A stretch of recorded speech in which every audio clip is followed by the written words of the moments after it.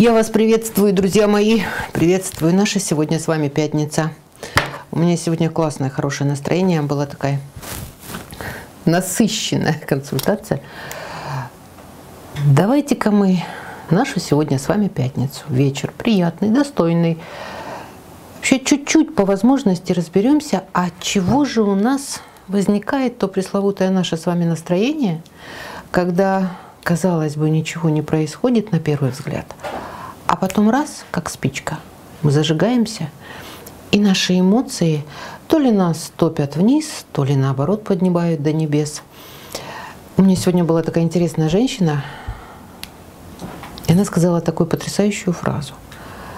Вы знаете, говорит, я когда думаю о том, что каждый мой день, который я живу, он только мой, и я имею полное право с кем-то его разделить,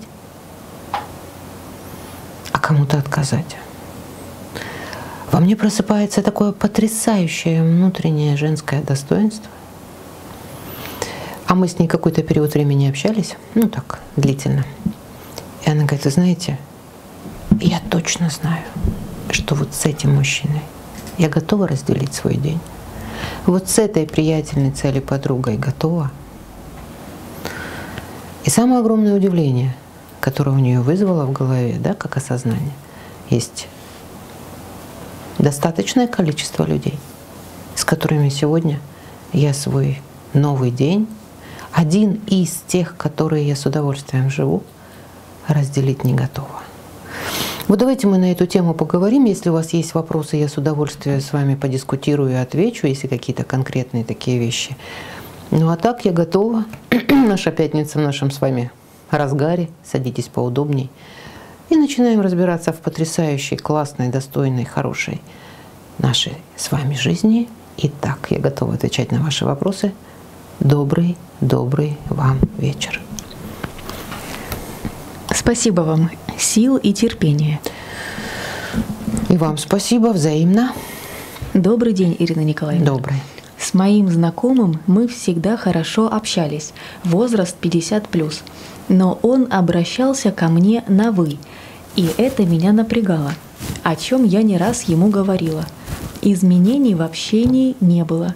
Настало время, когда я сказала, что мне не нравится такое общение, на что он ответил «Ну и ладно», и мы перестали вообще общаться. Подскажите, пожалуйста, с вашей профессиональной точки зрения, почему он так ко мне обращался, без имени. Заранее вам спасибо.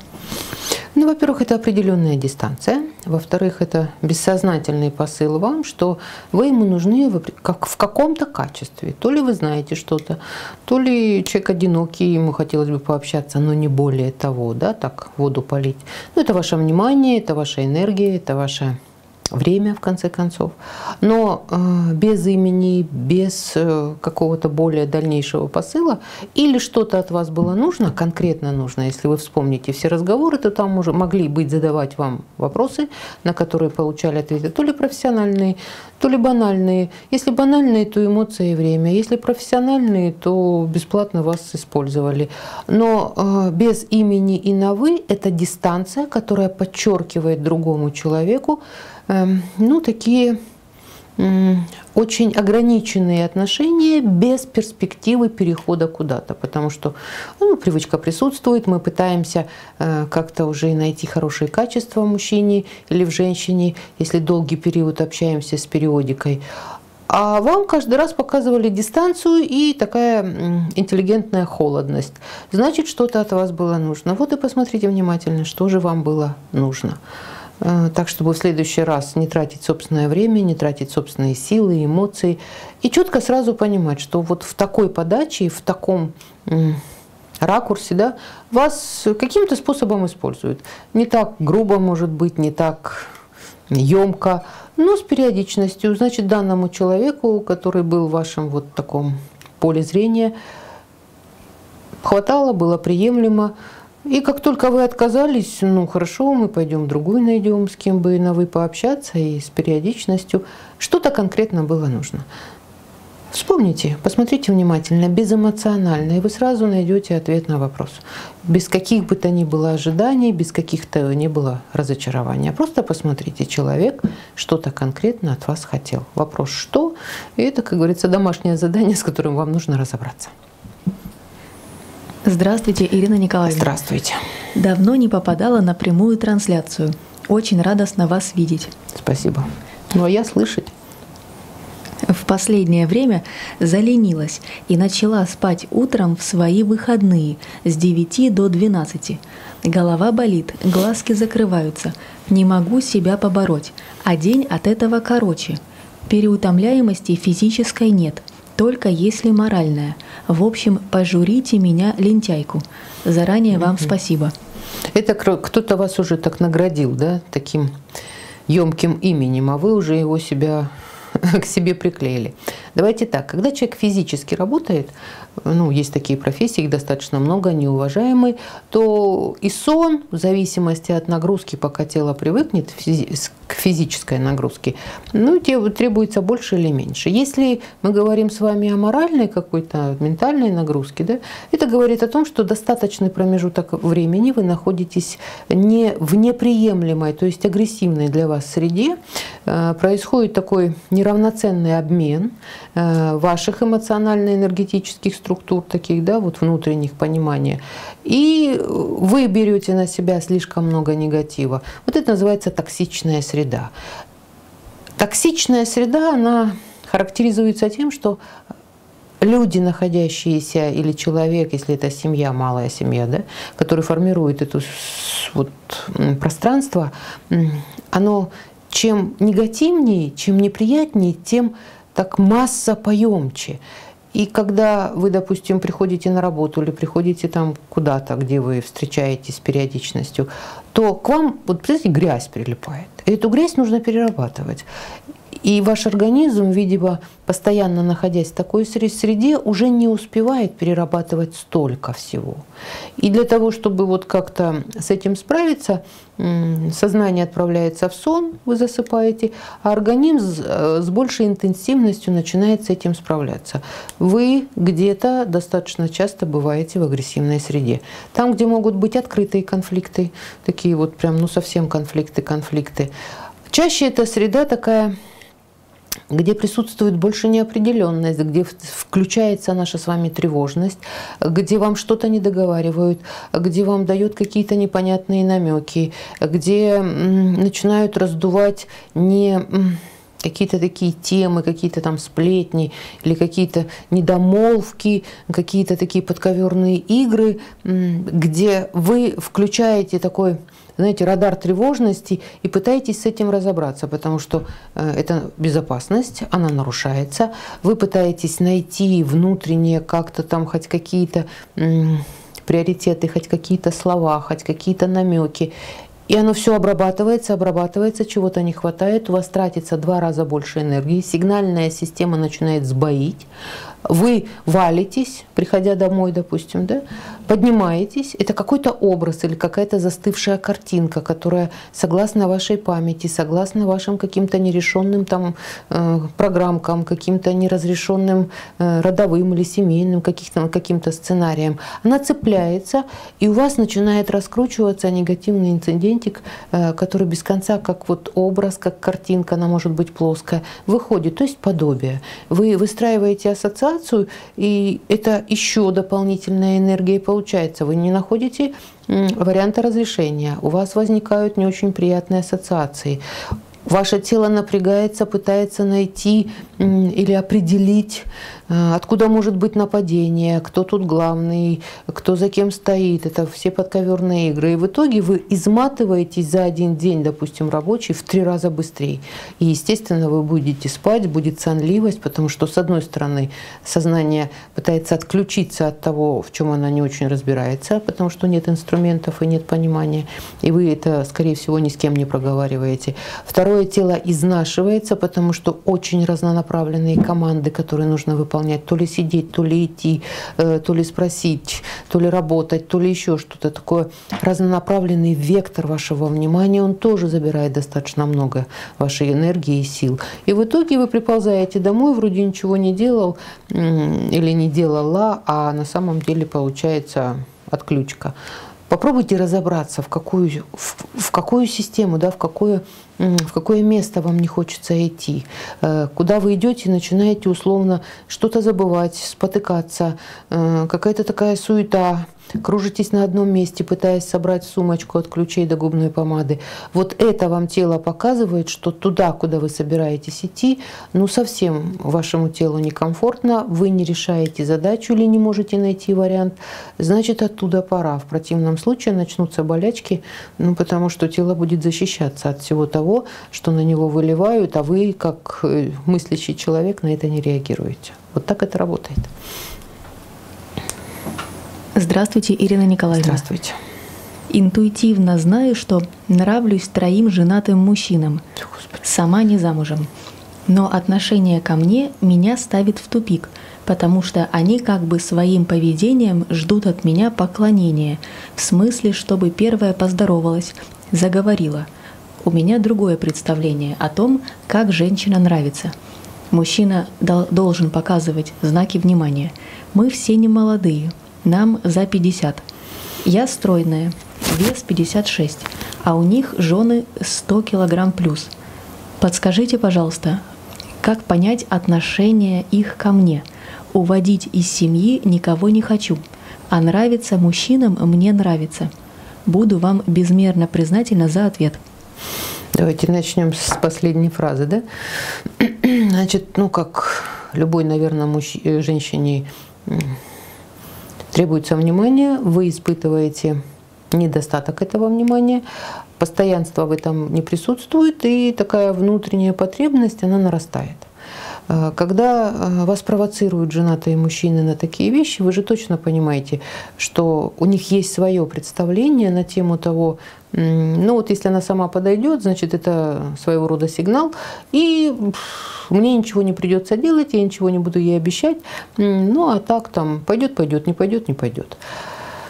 Это такая пассивная, да, позиция мужчин, допустим, по отношению к вам, и ваше представление, что их сразу трое, э, тоже запускает такую наперсточную да, э, систему мышления в вашей голове. И вы как-то так или иначе пытаетесь то ли выгадывать, то ли еще что-то. С одной стороны, это приятно, а с другой стороны, ну, ваши принципы, которые вы озвучили, не очень э, пускают вас туда. Но вы же прекрасно понимаете, что перспектива так себе – Внимание, ну, наверное, э, если это будет человеческое внимание, будет приятно. Человеческое внимание – это когда э, вас более или менее какие-то профессиональные отношения, где каждый из э, людей не переходит личные границы, да, нет провокационной системы. А вы, судя по всему, провоцируете – ну так, ну провоцируете. И эта провокация естественным образом выдает реакцию мужчины, ну коль ты спровоцировала, подходи, и я дам тебе там или что-то с тобой сделаю, коль ты так провоцируешь. Так вот сначала вам нужно убрать провокацию, знаете, Женщина, уважающая себя, она, во-первых, не будет провоцировать мужчину, тем более женатого, потому что это ну, малоперспективная история, и что-то даже если там не будет получаться, обязательно эта женщина будет виновата. А с другой стороны, э, вот немножко пересмотрите, какого вы внимания действительно хотите.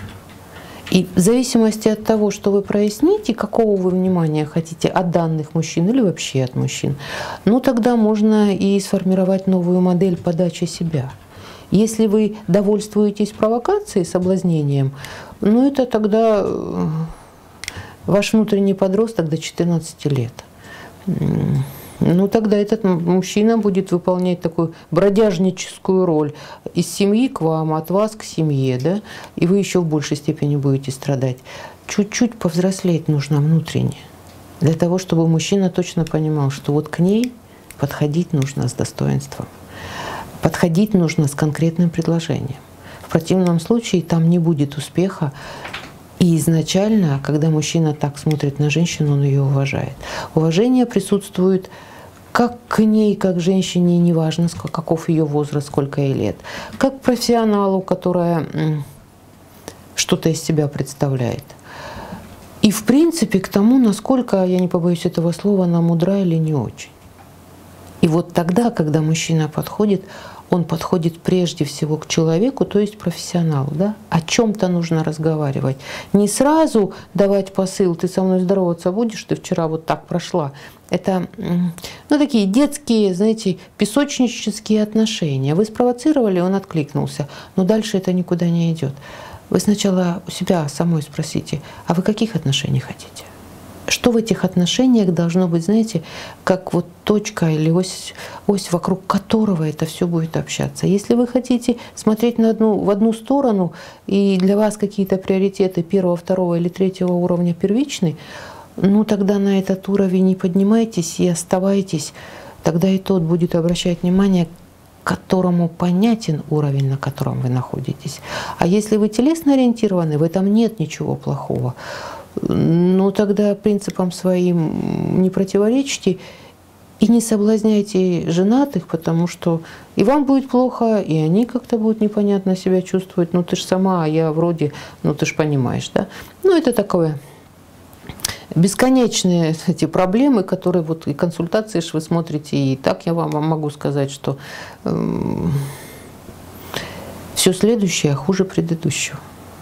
Если вы остаетесь на том же уровне, а не дай вам, Господи, опуститься еще ниже вдруг, ну, чтобы не остаться одной там, или не остаться одному, или как-то попроще упрощ, упроч, э, упростить там какие-то, да, свести до минимума. А вот если подниматься, тогда нужно подняться самой и давать посыл, не соблазнение, а посыл тому мужчине, с которым бы вас что-то объединяло. Ну и вообще, в принципе, на работе зачем она вам нужна? Это ну, бесперспективная история, э, потому что не столько там будет какого-то взаимодействия, сколько будет этого всего обсуждения. Это те последствия, которые мы крайне редко всегда для себя просчитываем да, или проясняем, и начинаем потом огребать по полной программке и, и думаем, откуда это все прилетело. Вот оттуда и прилетело. Не соблазняйте женатых, а э, четко у себя спросите, как, допустим, следующие 10 лет вы хотели бы прожить и с кем? И вот это вот внутреннее осознание, что для вас важно, э, что для вас ценно, и что бы хотелось дополнить к этой ценности и важности, вот тогда и зародится картинка, кто с вами э, может быть находиться рядом, что вы можете ему дать, что он может дать вам, вот это взаимообмен – и уровень восхищения, когда вы можете сотворить все это, это внутренняя вера в то, что это возможно. И как только вы поверите, что это возможно, потому что это ваше внутреннее состояние, женское такое, когда вы точно знаете, дверь открываете, он стоит. Он стоит с букетом, он стоит, у него глаза сияют, и вы ему откликаетесь. И не важно, что он пришел для того, чтобы пригласить вас в театр. Но когда вы будете в театре, вы поймете, что вот этот мужчина защитник, ему нужно доверять. Он уважительно и очень бережно к вам относятся. И для того, чтобы эти отношения чуть пошли дальше, на это нужно время, и вы это время себе даете. И вам от этого хорошо, что вы можете управлять собственной жизнью, собственным состоянием и получать от этого удовольствие. Вот женское начало, оно работает от того, что вы осознаете и понимаете, что кому-то вы можете подарить многое, дать, а кому-то улыбнуться, сказать, ну прости, пожалуйста, ну прости, пожалуйста. Нет, ну нет. И это не обида, и это не принижение, это ваше решение. Так вот решите сначала для себя, с кем бы вы хотели поделиться своим внутренним состоянием, своей ну, женской энергией, вот своей теплотой, заботой, как долго и на каких условиях мы так или иначе все равно выставляем друг другу условия. А если эти условия не выполняются, то отношения расторгаются или приходят в упадок, да, или люди расстаются. Так вот, каковы ваши условия, которые вы для себя сами сотворили в собственной голове мыслью, и чтобы вас там ну, так вдохновило, как следующие 10 лет вы хотели бы прожить? Как? Хотя бы помечтайте. Хотя бы попробуйте вспомнить то, чего вам не доставало. Это наши пресловутые эмоции. Это наши эмоции, которые накапливаются, они не имеют прошлого, они или минус, или плюс. И вот этот плюс, что бы вы хотели себе подарить в следующие 10 лет? Как долго? Или сразу? Или постепенно? Как? Вот это и называется познание себя, тем более женщины. Подумайте, тогда сразу станет все понятно. А вот эти вот, э, знаете, такие интрижки, то вам кажется, что он вам что-то сигнализирует, потому что вам так хочется. Ему кажется, что он такой э, могучий, и вы на него обратили внимание, и это льстит самолюбие мужчины. А в итоге-то что? Он сразу вам выставляет условия, через которые невозможно пройти, или он не хочет через них проходить. А вы будете вынуждены соглашаться с этими условиями, значит наступать себе на горлышко. Надо ли? Надо ли? Вот основной вопрос, потому что наша жизнь с вами – это наша жизнь. И вы должны знать, тем более женщины, кому вы позволите находиться с вами рядом. Кто будет вас радовать, кто вас будет восхищать, кто вам будет организовывать безопасность, кто, э, кого, вернее, вы будете встречать, открывая дверь. И вот эта вся ваша душа, все внутреннее ваше состояние, она будет от радости петь, петь. И вы этой радостью будете делиться и получать взамен то же самое – мы же на самом деле хотим-то одного и того же. Все буквально, вот все, кто меня смотрит сейчас, и я в том числе. Так вот, учитесь общаться. И когда человек заходит и открывается дверь, я вам точно могу сказать, это ни с чем не сравнимое чувство. Ну, ни с чем. Когда женщина ждет этого человека, и он очень благодарен за то, что она его ждет. И дарит столько эмоций, столько впечатлений, что женщина на седьмом небе от счастья. Вот давайте мы к этому будем стремиться, и такая наша короткая жизнь, нам нужно успеть, действительно нужно успеть прожить вот эти самые замечательные, самые классные моменты. Потом мы с вами будем профессионально работать, потом мы будем там друг друга обучать, или друг другу помогать, или как-то там по-другому взаимодействовать. Но вот это в жизни должно быть. Возраст не имеет значения. И чем меньше у женщины присутствует это в жизни, тем больше она обделена.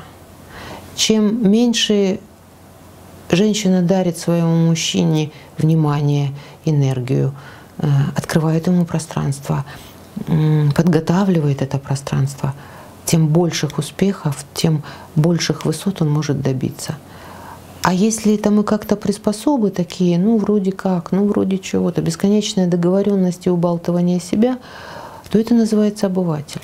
А обывательство — это когда ревность, зависть и все эти негативные эмоции со временем человека заполняют полностью. И мы уже не видим, кто рядом.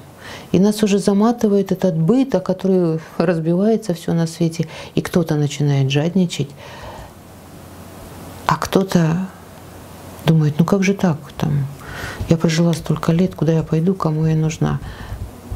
Не надо распыляться. Нужно выбирать из множества того, с кем вам действительно хорошо, и с кем есть перспектива, потому что играть по чужим правилам и участвовать в чужих условиях, где вам навязывается определенная роль для утехи, будьте, пожалуйста, к себе внимательный, уважительный и понимаете, что каждый ваш день, он только ваш. И вы имеете полное право провести его так, как вы хотите, и с тем, с кем бы вы хотели. И не важно, что нужно будет чуть-чуть набраться терпения, поискать, подождать, разобраться, увидеть, э, поработать немножко внутри, чтобы создался вот этот именно образ. Все наши желания с вами исполняются, и хорошие, и плохие.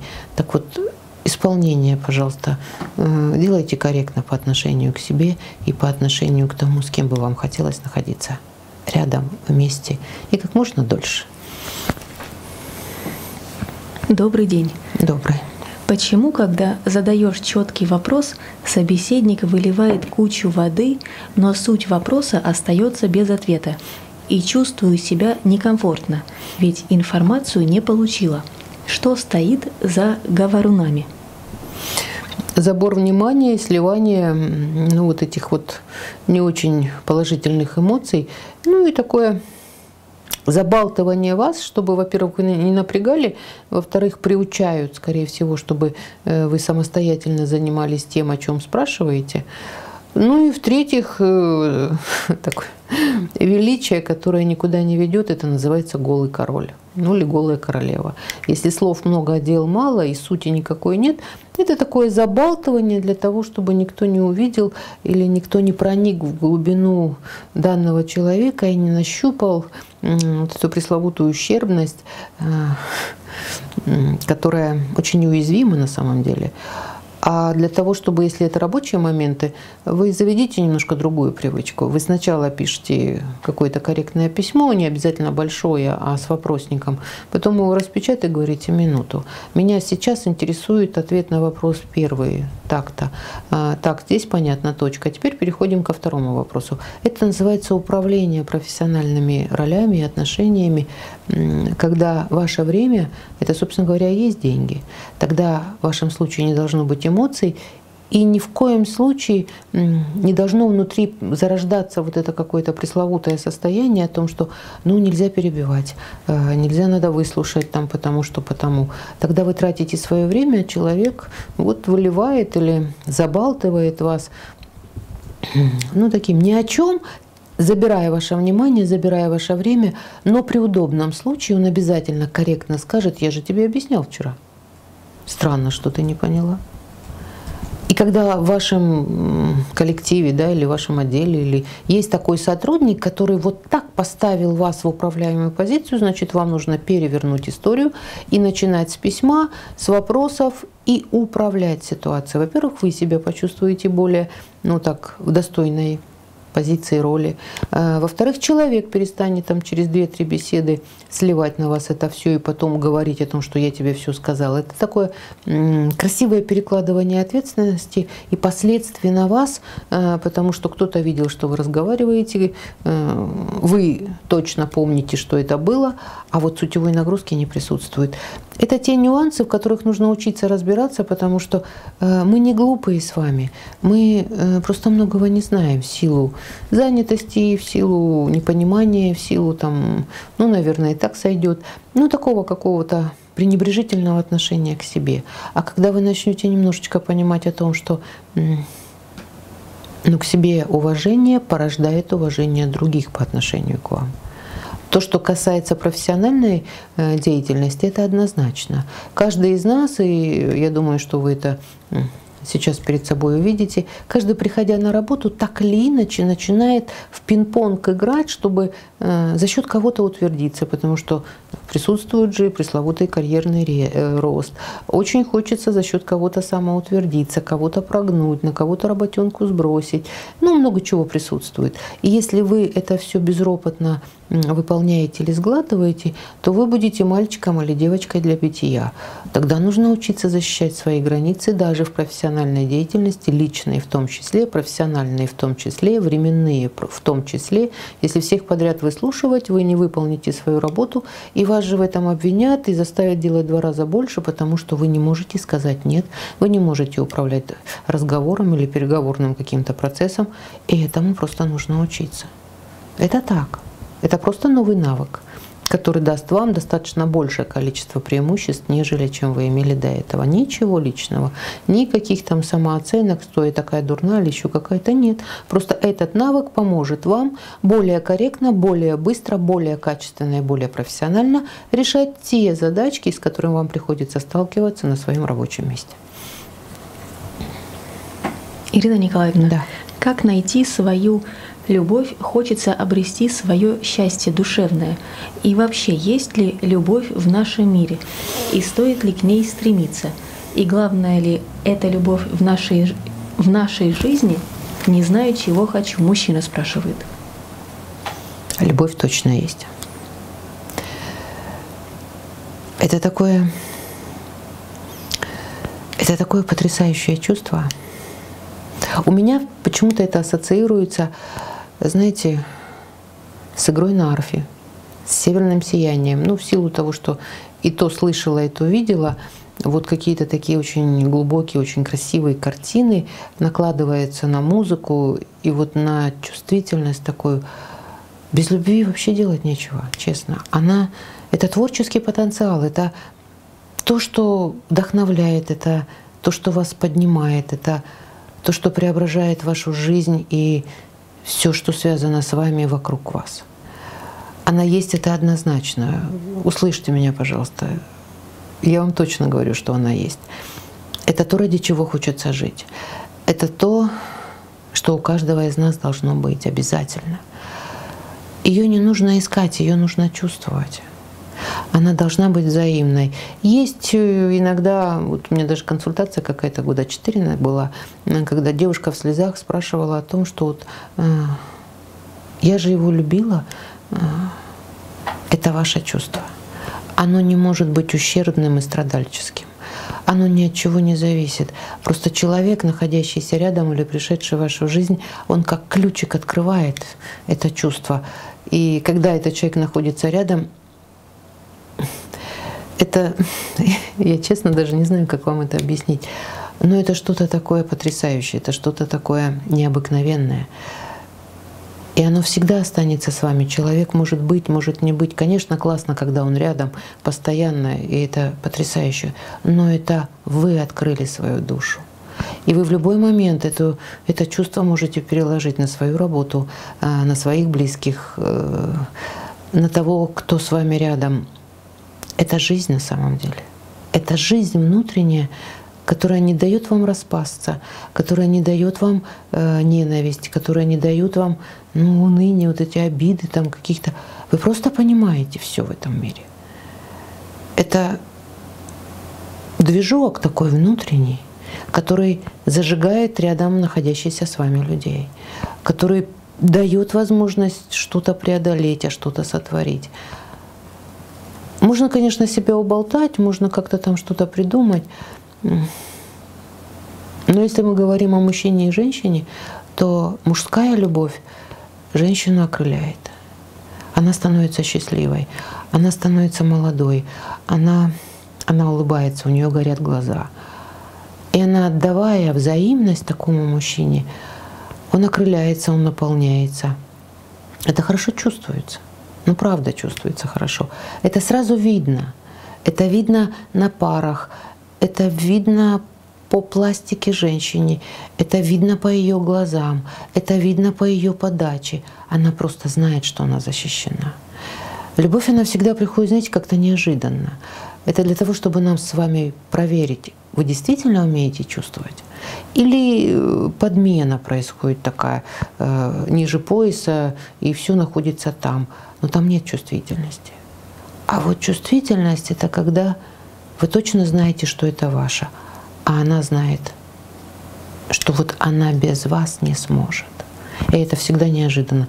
В самый неподходящий момент. Это когда, знаете, есть вот, ну, каждого из нас, наверное, было такое состояние, что вы встречаете человека, вроде знали его много лет, и вот что-то какая-то неведомая сила, и вы точно знаете, что это он. Почему раньше этого не замечали? Не понимаю. Ну вот это он. Или такое впечатление, когда первый раз человека встречаете, у вас внутренний, это такая вот вера, и она не требует никаких доказательств, что вы его знаете или ее знаете тысячу лет. Вот это первый сигнал, да, первый сигнал. Не влечение, как бы мне бы с ней бы куда-то, а вот именно, что вы так долго ее искали, и она действительно или он вот того, кого я знаю много-много лет. И такое ощущение, что вы вот просто шли в одну точку для того, чтобы встретиться. Любовь не обманывает никогда. Любовь не предает, любовь не причиняет боль. Два человека объединяются в независимости от временных рамках, как они могут себе это позволить, но они предугадывают друг друга желания. И это потребность, это человеческая потребность, это необходимость в отношениях, это обязательное условие, потому что когда ты любишь, нельзя причинять боль, невозможно это сделать. Когда хочется отдавать, когда хочется мужчина, допустим, оберегать. И это чувство защищенности женщины, оно самое дорогое, что может подарить э, его женщина для того, чтобы он чувствовал себя мужчиной. Это такая очень-очень глубокая взаимосвязь, э, она чувствуется. Вот если вернуться для понимания там, через два вопроса, вот это как токсичная среда. Мы же ее не замечаем, но мы ощущаем, что нам плохо. И нам так или иначе хочется от нее уйти. Это ровная противоположность. Это там, где вас разрушают. Это там, где подспудно в мыслях то ли с вами борются, то ли вам что-то доказывают, то ли вас имеют, то ли вас пытаются использовать, то ли приспосабливаются к вам, чтобы было поудобнее, или вы к кому-то. Это неплохо, не хорошо. Это выброс, простите, выбор образа жизни. И вот эта среда, а женщина наполняет пространство, э, в котором она находится, там, в доме, э, в квартире, там, да, где-то там, даже в том же отделе, если она лидирует. Это женская энергия, и если там плохо находиться – то о любви разговора быть не может. Если скандальность, претензионность, обман, э, какое-то такое стяжательство присутствует, но это точно не любовь. Это точно не любовь. Так вот, для того, чтобы ее прочувствовать, вы попробуйте хотя бы внутри себя ну, хотя бы немножечко ощутить не вот эта токсичность или нулевка, когда что воля, что не воля, все равно тупо надо идти, э, денег заработать и как-то там прожить этот день. Это уже день сурка. Это человек еще не умер, но уже почти. А вот если сама жизнь, то, э, ну хотя бы когда по улицам идете, обращайте внимание, Патологически все люди смотрят вниз. У них потухшие глаза, они просто тянут лямку. И как-то выбиваются те, которые не видят вокруг себя происходящего. Они вот друг в друга погружены, и у них свой мир, в котором им очень хорошо, в котором они понимают друг друга с полувзгляда, с полуслова, и это практически одно целое. И у этих людей все получается. Беды у нас одинаковые, а счастье, вот каждый создает свое, и глубину счастья это у каждого своя и оберегаем мы каждый по-своему. Вот сначала это чувство нужно взрастить в себе, хотя бы ну, на немножечко, на немножечко подумать, посмотреть под, под другим углом, вот, и на тех людей, которые вам нравятся, и как они себя ведут. И у себя спрашивать, у себя внутри, это кто? Мой нет? Мой нет? И если нет, то не делайте несчастным ни себя, ни другого человека.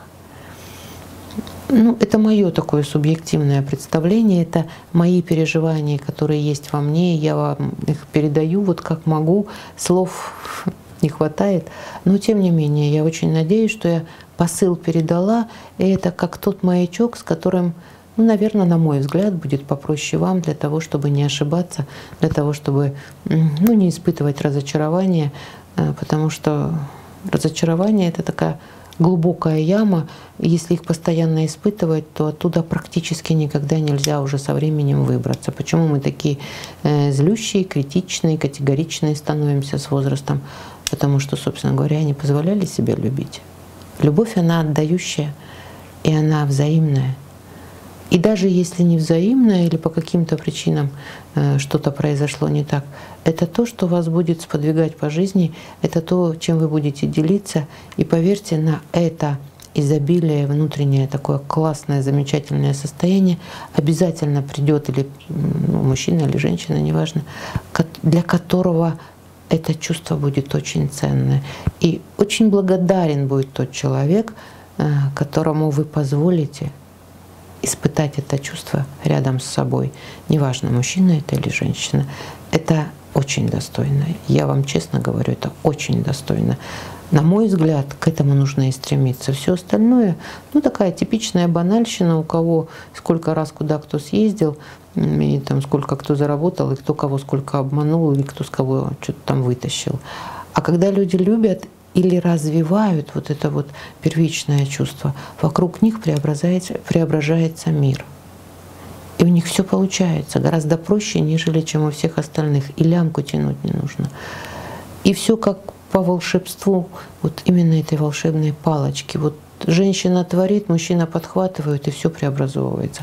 В противном случае тяжкий труд двух людей с обременением, кредитами, с мамами, с папами, с этими советчиками, руководителями и всеми прочими.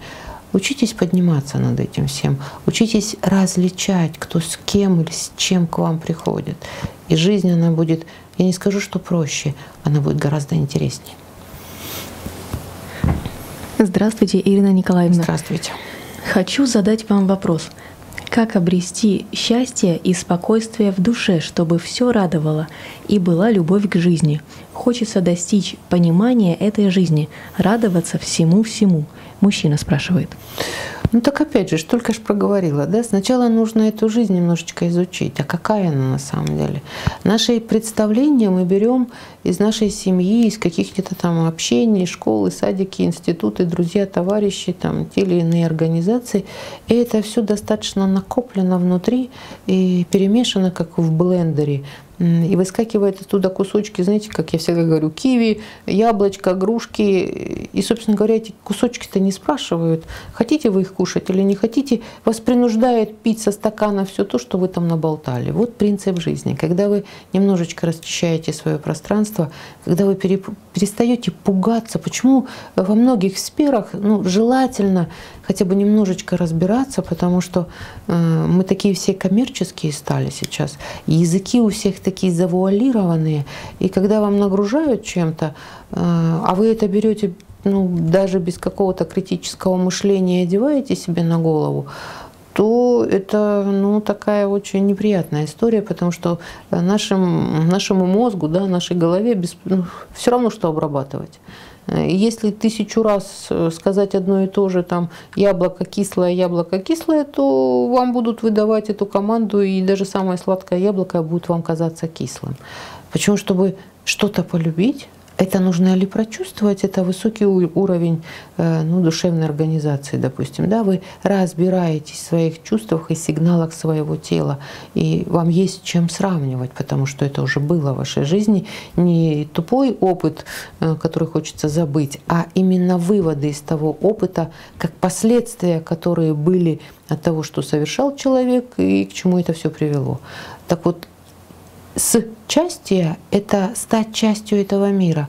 Но нельзя стать частью, не понимая, какого мира, э, что вы хотите прояснить и с какими людьми вы хотите объединиться, чтобы э, эти все части создали целое. Если мы друг друга не знаем и думаем, что мы тут все одинаковые, э, что мы вот тут все вот прям вот совсем вот такие братья и сестры, я вас уверяю, что это не так. А вот раскрыть свое хотя бы интеллектуальное понимание, хотя бы логики, понимая, о чем человек говорит, какие действия, тогда, э, во-первых, залипания не будет, потому что отсюда зарождаются все зависимости, тогда, когда э, человек без знаний и манипулирует. Есть ну, много сюжетных линий, много э, таких человеческих переплетений, когда мы манипуляцию выдаем за такое желаемое внимание. Когда человек играет какую-то не очень качественную роль и даже не отмечает, как фальшивит на словах, и абсолютно уверен в том, что его не слышат. Но много есть нюансов. И когда вы начинаете это все проговаривать, когда у вас всплывают вот то, на что мы не хотим смотреть, вот и зарождается чистота внутренняя, и многое что открывается это та жизнь, которую нам нужно научиться в параллель жить, для того, чтобы не входить в некачественные отношения, а, не позволять или наоборот учиться а, на том, что есть для того, чтобы поднимать свой уровень развития а потом свободно как-то менять сценарий или изменять тот сценарий, или наоборот э, по-другому начинать разговаривать на языке того, с кем бы вам хотелось поговорить.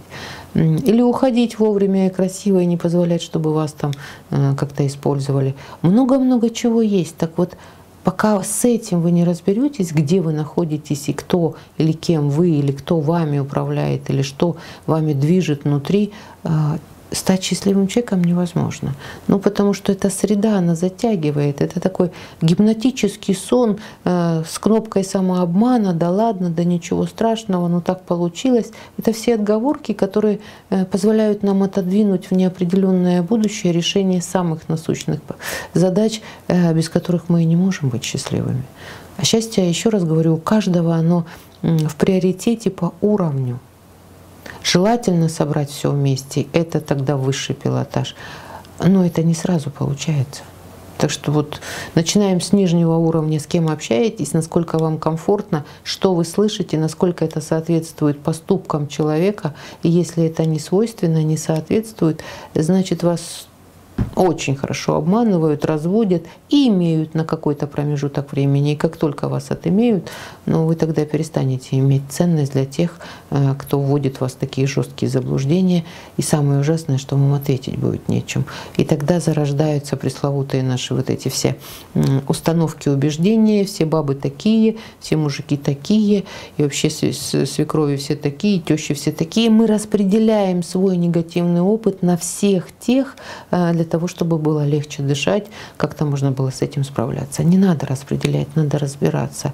Где вы, э, в какой семье выросли, как вы ведете по жизни, ваша разрешительная база, ваши запреты, ваши скрытые какие-то негативные программки. С этим совсем нужно разбираться. И как только вы это все увидите, а это не очень приятно мужчинам, это всегда страшно, женщинам это всегда больно, это все лень, это все вот какие-то отговорки без конца. Это потому, что мы абсолютно взяли чужое убеждение, что мы не справимся. Я вас уверяю, справимся. Всегда справимся, если человек готов создать со своей жизни или сотворить в своей жизни что-то более качественное, более высокое для себя, прежде всего. Не эгоистично использовать других и тешить свое самолюбие – это абьюз – это очень глубоко несчастный человек, э, абсолютно с выгоренной, с выжженной душой и сердцем, э, живущий какой-то ненавистью прежде всего по отношению к себе. Ну и в силу того, что с этим невозможно справиться, мы причиняем всем остальным. Это не про любовь, я уже сказала.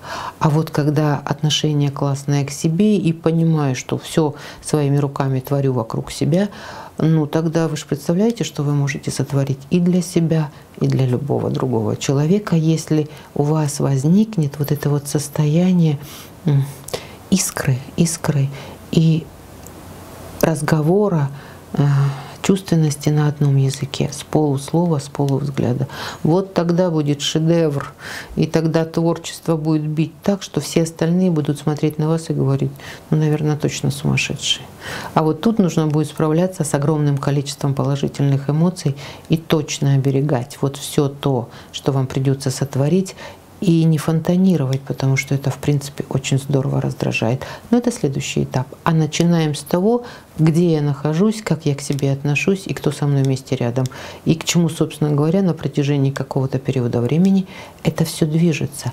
Насколько циклично, насколько радует, насколько хочется идти, не хочется идти. Ну вот много вот этого всего, где вы просто честно начинаете разговаривать с самим собой или сама с собой.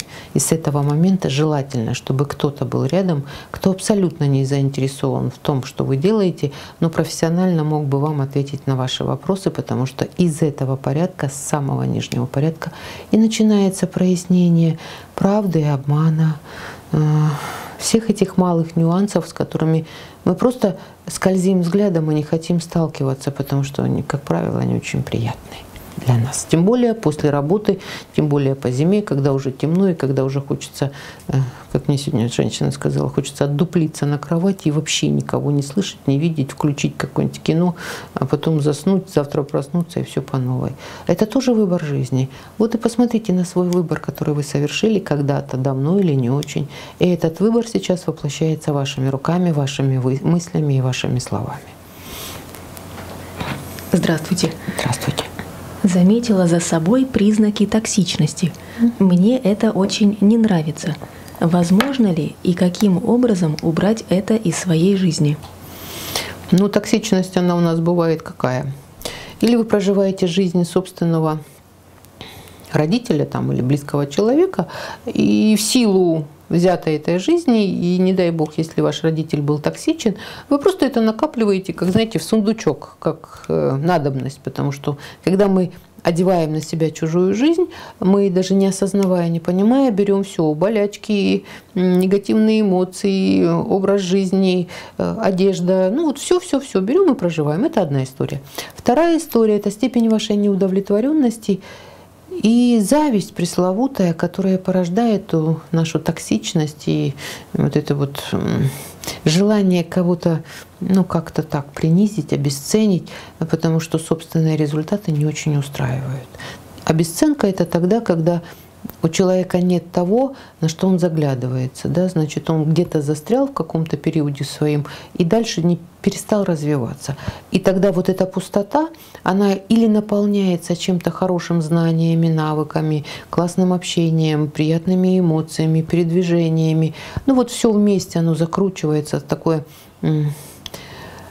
Именно очень достойный образ жизни, занятость, потому что если женщина, то она не занята, у нее будет накапливаться агрессия, потому что женщине нужно быть занятой, не убиваться на работе, а вот именно быть занятой чем, тем, что ей нравится, в чем-то разбираться, в чем-то участвовать, э, что-то передавать. Мы всегда, женщина всегда связана со знаниями.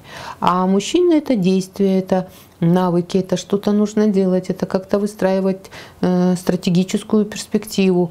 Если это не получается, значит нужно объединяться с какой-то женщиной или с консультантом и пытаться это настроить. Нет такого, что мы не умеем.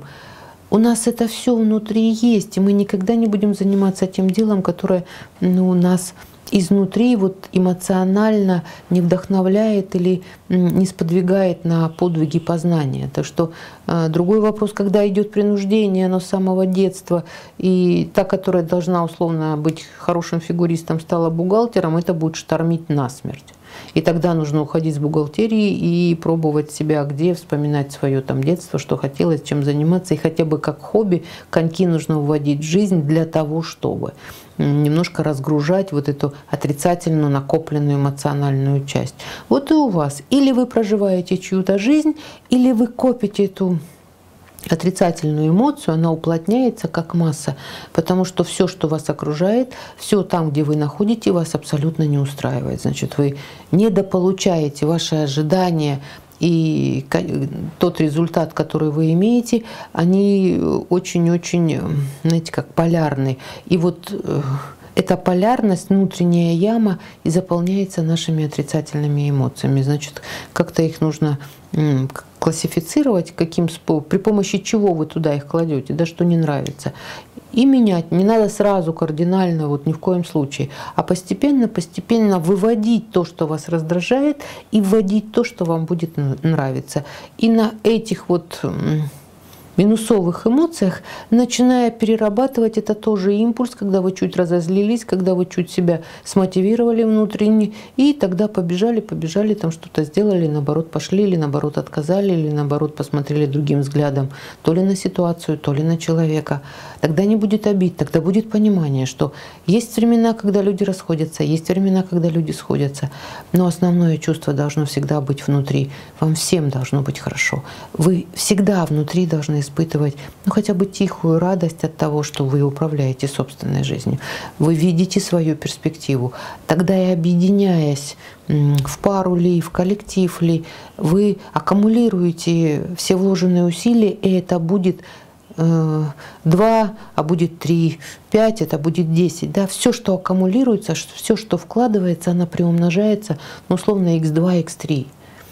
И тогда вам будет хорошо. И вы не будете токсичить, вы не будете раздражаться, вы не будете агрессировать, потому что вы создаете себе условия, э, в которых, во-первых, вы нужны, во-вторых, вы можете чему-то научиться, вы можете этим поделиться, э, вы можете не находиться в постоянном напряжении, потому что присутствует определенность этих отношений. Значит, э, вы не будете себя контролировать, что сказать, что не сказать. Вы не будете там что-то прятать, потому что слишком много обмана там или какого-то приспособленчества или какого-то там внутреннего вот это безысходного состояния, что мне тут надо пережить, а там дальше посмотрим. Это же все внутри копится, и оно разрушает человека. Чем легче вы будете внутри, чем понятнее ваша будет позиция, чем меньше вы будете себе лгать и другим в том числе, но чем проще и качественнее вам будет жизнь. Надо разобраться, как вы хотите жить эту жизнь, с кем, как, куда идти, куда стремиться. А все остальное притягивается. Деньги притягивает женщина. Если женщина мужчину не любит, не ценит, не уважает, не восхищается, ну не будет у мужика денег, ну не будет у него этих денег. Он будет наоборот пить там, гнусить и что-то делать. Значит, женщина им недовольна, но она его держит, и она будет его разрушать. Почему? Чем легче вы относитесь к себе, не вот ну, не обманывая себя, не принуждая, не уговаривая в чем-то, как все условно там что-то делают. Нет. Точно так же, если мужчина женщину там забивает, не дает ей эмоций, ограничивает ее, пренебрежительно к ней относится, эта женщина будет несчастна, значит, она быстро постареет, она будет иметь своих детей, уж простите меня за слово такое, дети будут несчастны. Ну, все попали дружно, ну, все попали дружно. Ну и до своего мужчины, когда, если она поймет, откуда ножки растут, она все равно до него достанет. Женщина сильнее энергетически. Не хотите, э, расставайтесь по-хорошему. Хотите, соединяйтесь, но это должно быть искренне. Чем искреннее и честнее мы будем по отношению друг к другу, тем качественнее, глубже и с более смысловой нагрузкой будет любая наша с вами жизнь в семье или на работе, или там, в каком-то познании. Я вот, допустим, ну, свое опять, да, я так 5 копеек сюда. А, вот когда я начала мастер-классы, у нас первых э, там два, ну, две беседы, два занятия была такая притирка. А вот третье уже, там четвертое, и уже вот там как-то вырабатывается один язык мы уже начинаем понимать, э, я уже в том числе начинаю понимать, что вот здесь мне нужно что-то сказать, а здесь мне нужно промолчать. Вот здесь мне сейчас нужно с одним человеком поговорить и сказать ему вот так, чтобы это вовремя. А другие поддерживают, у человека моментально повышается самооценка. Это то же самое, что в семье, это то же самое, что в коллективе. Когда люди объединяются из разных э, социальных статусов, даже стран разных. Более того, понятно, что все русскоязычные для того, чтобы... Но зарождается что-то такое новое, и стержень всего этого, вот ось, вот вокруг которого общаются, люди хотят меняться, люди хотят видеть те свои ошибки, не вот это ты такая сякая, там и такая. Нет, они хотят видеть ошибки, свои вот эти проколы, которые э, усложняют жизнь. И как только это видно, все моментально поддерживают, как, вот, допустим, у Катерины пишут э, там, по пятницам отчеты, да, что сделал там-то. И все радуются. Мы разучились радоваться и восхищаться и поддерживать человека, который э, в течение недели взятые на себя там какие-то обязательства, пускай они не будут там э, не очень емкие, но тем не менее, что он выполнил, что он смог. Вот общение какое. Вот оно должно быть общение на основании поддержки друг друга, на основании посмотреть разным взглядом, потому что мы э, в разных семьях общались, мы разные институты заканчивали, у нас разные были наставники и учителя, и это все равно остается в нашей памяти. И вот эти нюансы дополняя, зарождается огромная, классная, потрясающая, такое емкая беседа, сообщество людей, которые ну точно знают, что даже если какой-то будет вопрос, э, ну такого личного характера, с ним можно разобраться. Обязательно получится поддержка обязательно кто-то скажет что-то такое, э, что это будет вовремя, на сейчас и самое главное, как ключик ситуации. На мой взгляд. И я так всю жизнь живу. Это обязательное стремление человека, чтобы быть счастливым, чтобы рядом находились те, э, с которыми комфортно и хорошо. Люди все равно будут меняться – но вы точно знаете, что на смену одной или одному придет другой. Обязательно. И он всегда будет лучше, слышите? Лучше, а не хуже предыдущего. Это закон. А чем ниже мы опускаемся, чем больше мы привязываемся, чем больше мы страдаем, переживаем, тоскуем, как-то одеваем какую-то ерунду на голову, вот там работает ровно противоположный закон. Каждое последующее или каждый последующий будет хуже предыдущего. И вот в этом случае выбор за каждым из нас. Вы хотите, чтобы лучше было или хотите, чтобы хуже? И опять-таки оценка ваша, что такое хорошо, плохо, что такое лучше, хуже. И вот тут замотная система ото всех сторон имеет место быть. И вот с этим разобравшись, а, так поставив приоритетность или систему ценностей, вот тогда жизнь быстренько налаживается. Настолько классно и точечно работает мышление, вот это мне надо, вот это мне точно не надо.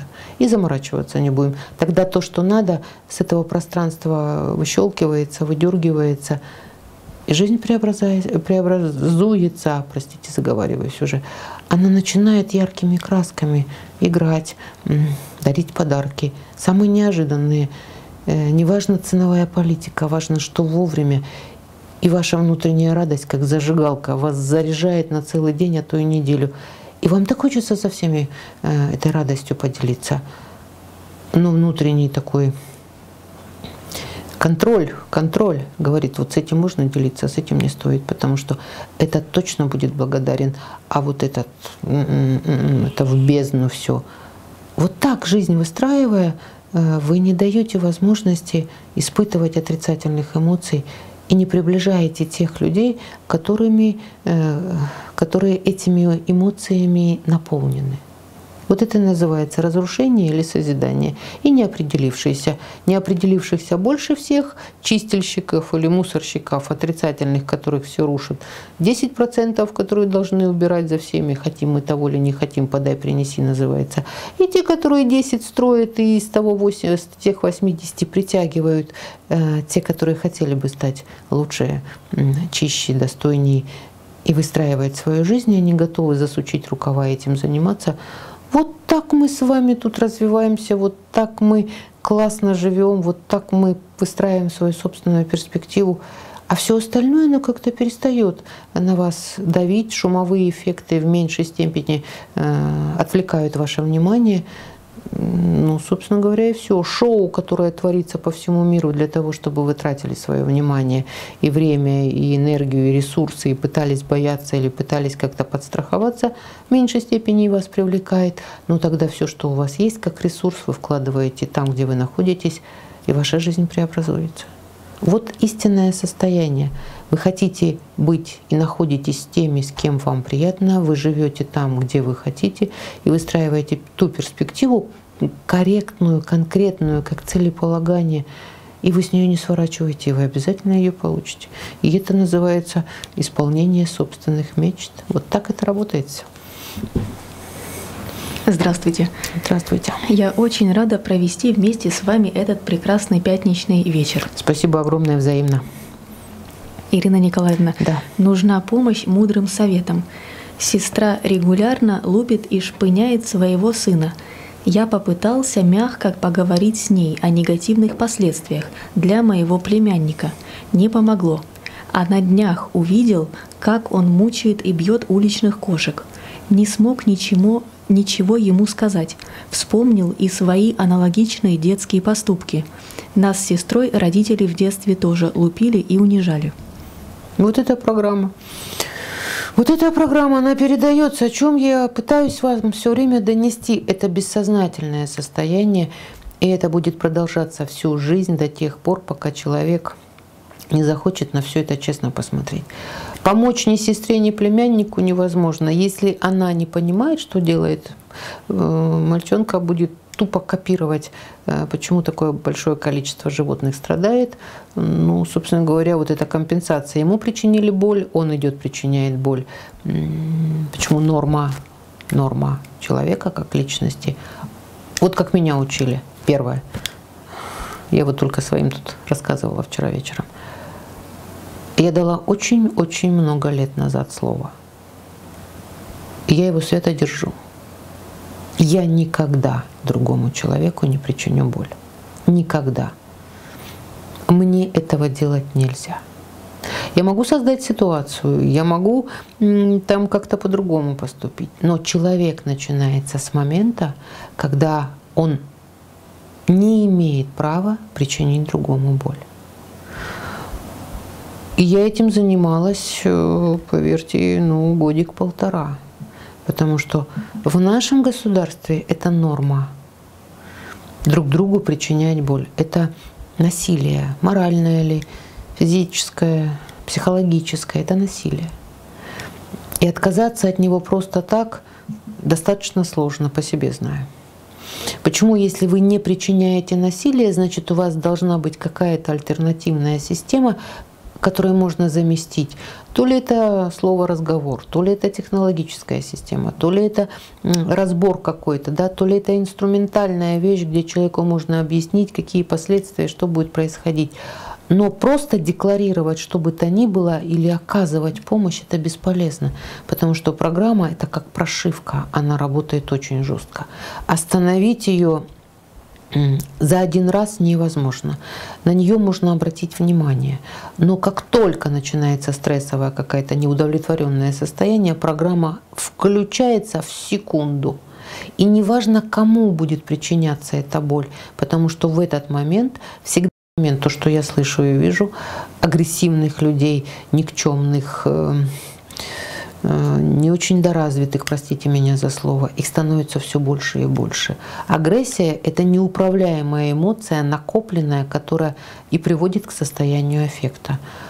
И если этим не заниматься и не понимать, то и нас станет меньше, и животных станет меньше, потому что ну вот это сейчас набирает обороты. И, собственно говоря, ну, насколько я вижу и понимаю, не особо кто с этим делом заморачивается. Даже в какой-то степени это и поощряется. Так что, пожалуйста, будьте внимательны. А помочь за один раз, возвращаясь к вопросу, я вас уверяю, это невозможно. Невозможно, потому что это происходит ежедневно, а за один раз указать, это значит человека, находящегося в таком вот аффекте внутреннем, а, ну, во-первых, на себя негатив вызовете, а во-вторых, это еще в большей степени отразится на том племяннике или на том малыше, который получит два раза, потому что кто-то решил его маму тут поучить, как его воспитывать. Так что вот спасать это ну, такая чреватая история, чреватая роль. Десять раз подумайте. Другой вопрос, если вы в хороших отношениях со своей сестрой, как-то может по-другому зайти, ну, как-то там по-другому. А если она еще и одинокая, и от нее папа ее сына ушел, так этот сынок будет, я вас уверяю, платить долго, долго, пока не убежит или не отползет за того папу, который, ну, собственно говоря, не сделал так, как хотелось вашей сестре. Это очень емкие вещи. Я хочу быть корректна, чтобы, не дай бог, никого не зацепить, и вы ничего у себя не придумали. Это это ли человек при помощи чего-то сам разбирается и понимая, задает вопросы, пережив, осознав и уточняет, или человека нужно ну, сопровождать, сопровождать для того, чтобы как-то клинить эту всю ситуацию ну, других вариантов, ну, по крайней мере, может, я не знаю. Может, где-то не, ну, гипноз, понятно, есть, там еще какое-нибудь внушение есть, там погружения какие-то есть. Ну, это уже э, то, что нравится каждому из вас или любому другому человеку. Здравствуйте, Ирина Николаевна. Здравствуйте. Почему я постоянно залипаю на недоступных лю- людей, которым не хочется со мной никаких взаимодействий? Либо держат на расстоянии и играют в ближе-дальше.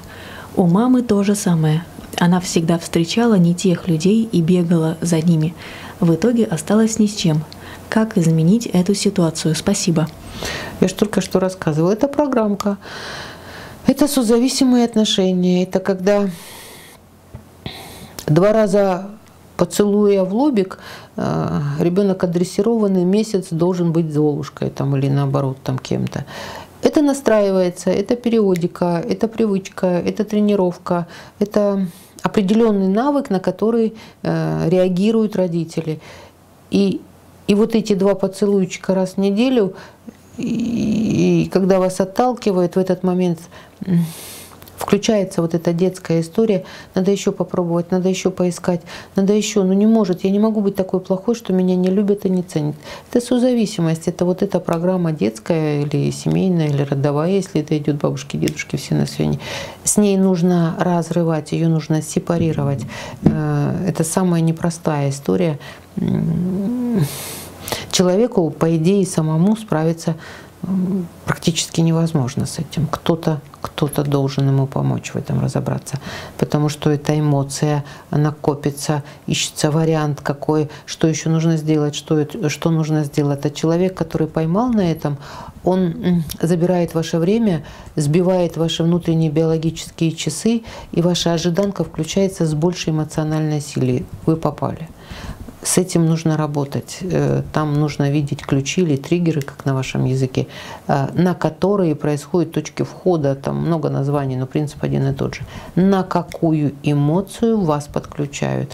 То ли вы спасатель-защитник, то ли вы жертвенная позиция и ради него готовы на все, потому что там где-то э, был какой-то сюжетный такой картиночный момент, что вас любили, и это сошлось с тем, что делала с вами мама. Ну, в общем, там много таких застывших э, образов или картинок, которые триггерят ваше сознание и не дают возможности выйти.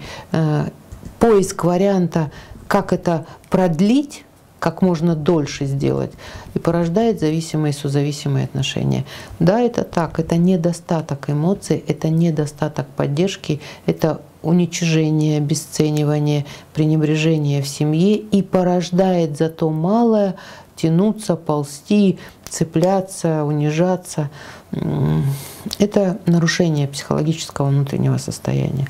Его надо взращивать, его нужно ну, открывать, э, нужно там как-то это все преображать для того, чтобы, если женщина то получила ценность собственную и увидела, кто она и что она, и достоинство обрела, а мужчина это сила, это понимание, что если он будет таким пакостником, то ничего достойного с ним рядом никогда не будет. И это выбор человека. И далеко, я вас уверяю, не всегда этот выбор, выбор идет э, в сторону достоинства. Очень часто, где-то даже процентов 70 идет в сторону вот это пришел, ушел ушел, потому что это без обязательств, это ну как-то так по-легкому, это как-то так по-крутому. Сейчас у нас тут мужчин мало, женщин много.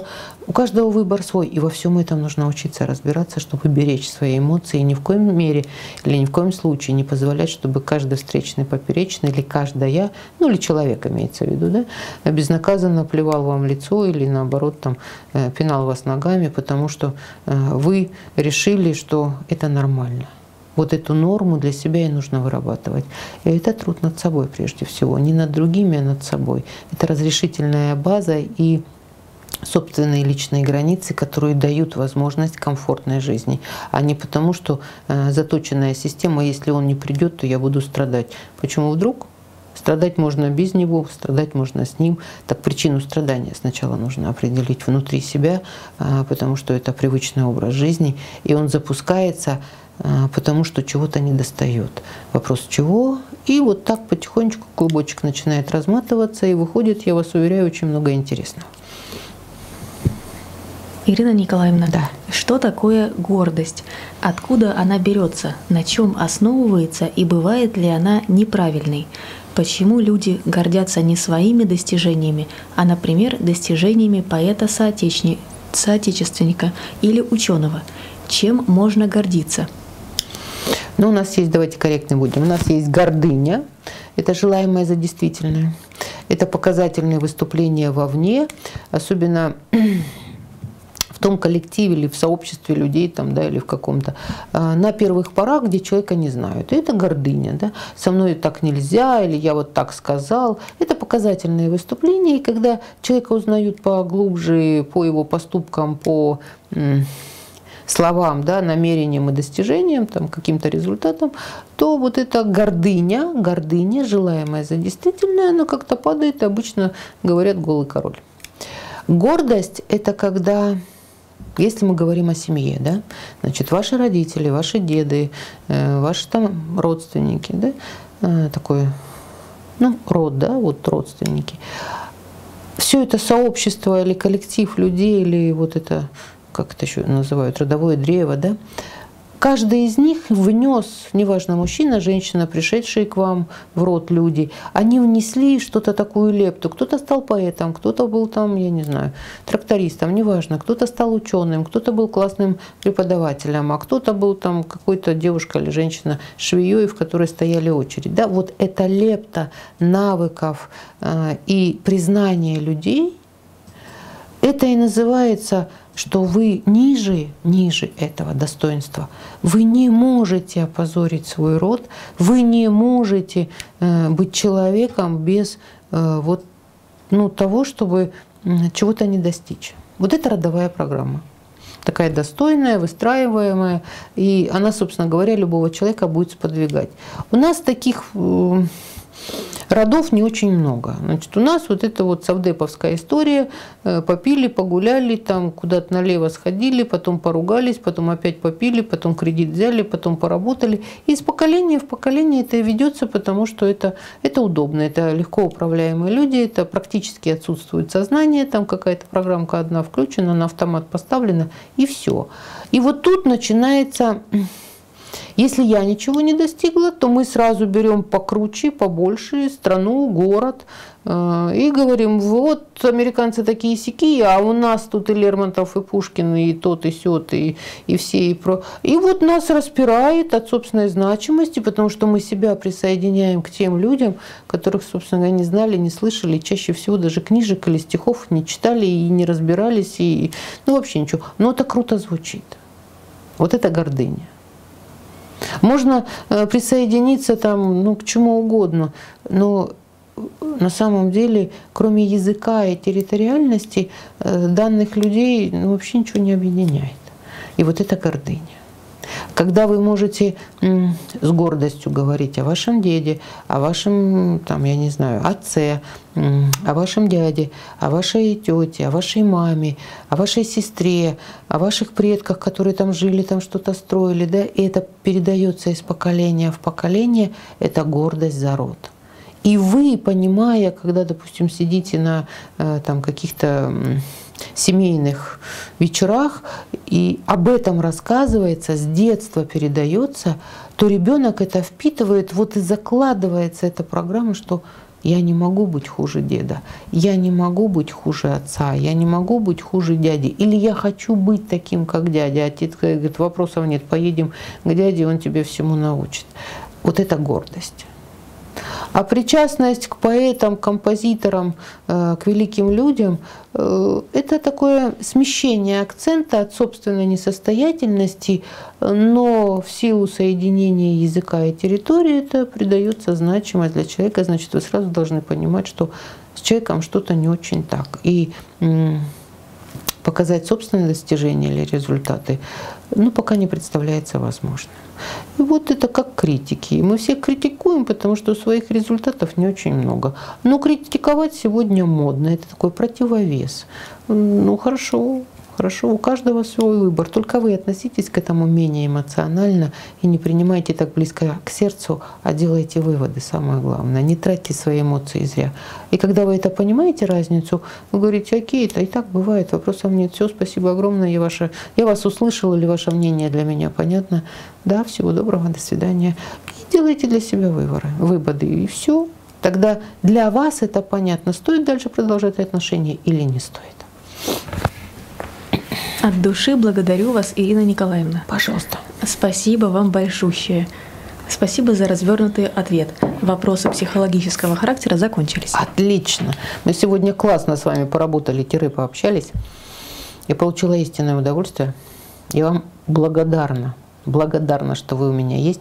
Вы меня круто развиваете. Даже вот сегодняшнее состояние, когда я попыталась передать вам вот это чувство, э, я получила обратную связь. Ну, это круто, правда круто. Хороших вам выходных, потрясающего пятнич... пятнического вечера. Учитесь жить. Учитесь жить так, чтобы дух захватывало, чтобы, знаете, в душе вот такой ручеек звучал, и вы точно знали, что вы будете делать завтра. И вы точно знали, с кем бы вам хотелось находиться сегодня. Тогда вся ваша жизнь, и мы обязательно к этому дойдем, я вам гарантирую, она будет каждый день по капельке, э, по горошинке преображаться. Берегите себя, пожалуйста. Хороших вам выходных. Я уже заговариваюсь. Ну ничего, вы меня простите. И до будущей пятницы. Всего вам всего доброго. До свидания.